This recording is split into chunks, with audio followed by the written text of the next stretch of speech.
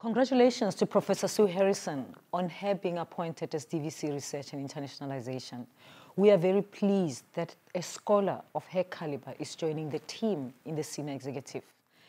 We look forward to working with her. We look forward to benefiting from her experience internationally and her experience as a scholar working in, in an interdisciplinary space. I have no doubt that we'll see her contribution in the years ahead as we start this journey with HARES DVC Research and Internationalization.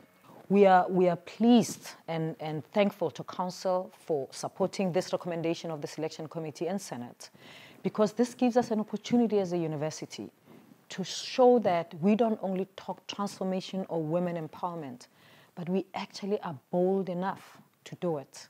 It will be the first time that women work together to lead a university, and we look forward to showcasing what women leadership can deliver. Thank you very much.